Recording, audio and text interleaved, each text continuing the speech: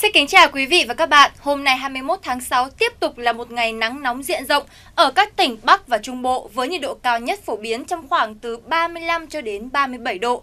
Kéo dài đợt nắng nóng tại đây sang ngày thứ ba liên tiếp.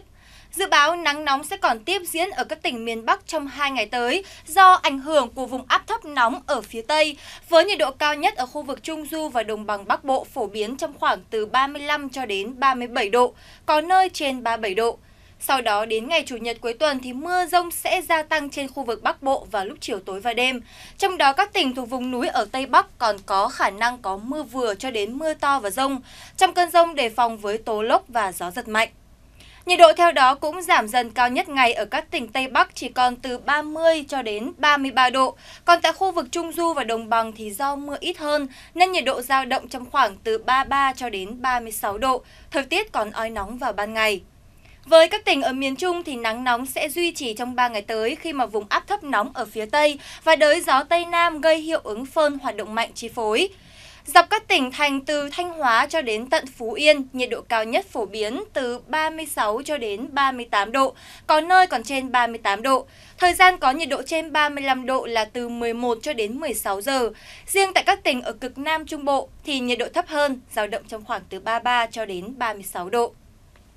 Dự báo phải sang ngày 25 tháng 6 thì nắng nóng mới dịu dần tại đây. Như vậy là trong những ngày cuối tuần này, du lịch biển sẽ là sự lựa chọn lý tưởng cho du khách đến với giải đất miền Trung. Mọi người chỉ cần lưu ý là bổ sung đủ nước cho cơ thể và hạn chế hoạt động ngoài trời trong khoảng thời gian từ 11 giờ cho đến 15 giờ hàng ngày. Tại các tỉnh thành còn lại thuộc khu vực Tây Nguyên và Nam Bộ, trong vòng 3 ngày tới sẽ chịu sự chi phối của đơn thuần của đới gió mùa Tây Nam. Do vậy mà từ khoảng trưa chiều thì mây rông kéo nhiều hơn, cho mưa rào tại miền Tây của Nam Bộ, sau đó lan dần lên các tỉnh ở miền Đông và phía Nam của Tây Nguyên trong khoảng chiều tối cho đến tối. Trong cơn rông mọi người tiếp tục đề cao cảnh giác với khả năng có rông xét và gió giật mạnh. Còn từ sáng cho đến trưa chiều thì trời có nắng gián đoạn với nền nhiệt độ ở các tỉnh thành phía Nam biến động không nhiều. Trưa chiều giao động trong khoảng từ 29 cho đến 32 độ tại vùng cao nguyên và từ 31 cho đến 34 độ ở các tỉnh thành Nam Bộ. Chuyển sang những thông tin về thời tiết biển. Trên khu vực Biển Đông bao gồm vùng biển quần đảo Hoàng Sa và tại Trường Sa thì gió Tây Nam hoạt động với cường độ trung bình ở khoảng cấp 4 cho đến cấp 5 nên tình trạng biển bình thường và ít gây trở ngại đến các hoạt động hàng hải. Như vậy là tại Bắc Bộ có nắng nóng duy trì trong 2 ngày tới, sau đó từ ngày 24 tháng 6, trời có mưa rào và rông và nắng nóng suy giảm nhẹ tại vùng núi.